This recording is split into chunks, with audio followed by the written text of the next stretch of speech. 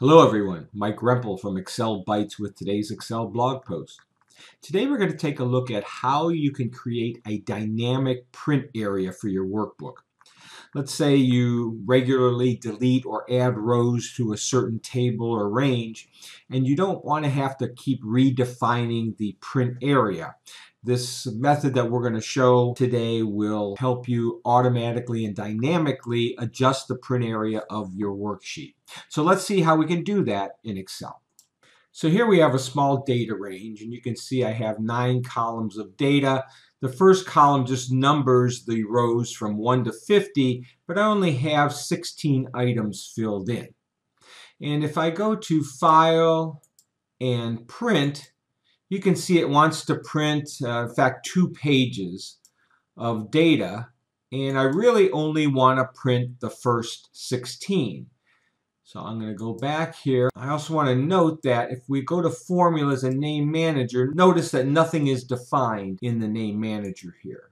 So what I'm going to do is I'm going to highlight the range I want to print.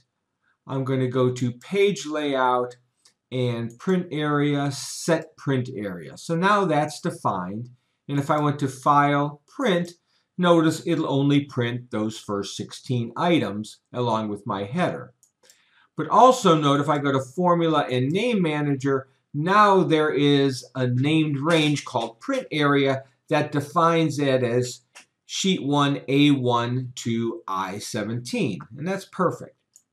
However, if I add a few more rows here, I'm going to just copy that and go down and paste that. And if I go to File, Print, notice it'll still only print those first 16 rows. I have to manually adjust the print area to add or in some cases remove the rows that I do or don't want to include. So let's see how we can automatically adjust that with Excel. So the first thing we're going to do is create another named range and define the print area dynamically by using a formula. So I'm going to go to the Formulas tab. I'm going to click Name Manager. I'm going to say New, and I'm going to call this DYN Print for dynamic print. And in the formula, or refers to, I'm going to type equals offset parentheses. I'm going to choose A1 as my starting point, comma. I'm going to go down 0 over 0. Now I have to define the height and width of the range I want to print. So I'm going to use the counta function and I'm going to select column I for that. So it's going to count the items in column I to define the height of the range. I'll close my counta function, comma, and then the width of my range is going to be 9 because it's 9 columns. I'll close that and I'll say OK. So now I have my print area that was defined before and now a new name item in the name manager called DYN print. So now what I'm going to do is I'm going to select print area and I'm going to go down into the formula area here and instead of having it be defined as A1 to I-17, I'm going to have it be defined as D-Y-N-P-R-I-N-T, which is that named range that we just created with the offset formula. I'll say close. It's going to ask me to save it. Now, if I go to File, Print, you'll see it has the first 16 rows of data plus the headers set there.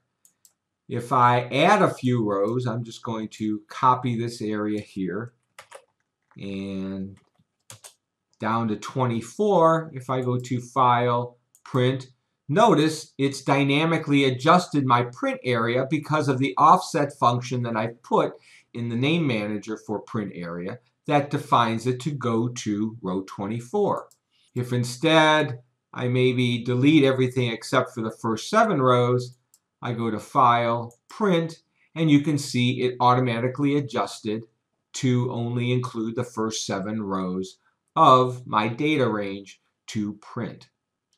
So I'm going to hit Control Z just to undo that. Control Z again just to get it back to my original 16. So what does the offset function do? Well, we've used offset in many, many of the tutorials that I've done, but just to, as a refresher, if I type equals offset, you can see it returns a reference to a range that is a given number of rows and columns from a given reference. I'll hit tab and what you want to start is with a reference. From that reference, say how many rows down you want to go to start, how many columns over do you want to go from that starting point. In our case, we put 0 and 0 because I want to start at cell A1 as my beginning point. Then, how high do you want the range? That's where we use the counta function in column I to count the number of items there, and that's how high the range would be. And then in the width, we use 9 to define 9 columns that we want to print. So by using offset as one of the items in the name manager and define the print area based on that offset function in the dyn print name range that we created, we were able to dynamically create a print area that you can use and it will automatically adjust as you add or delete rows from your data range. And there you have it. I hope you like what you see. If you do like what you see here, please take a minute to share this post on your favorite social network. I can be found on Facebook, Google+, Twitter, LinkedIn, and YouTube. So I hope you enjoy this. If you'd like to see more, please feel free to stop by my website, excel-bytes.com, and I hope you subscribe. So have a great day and happy excelling.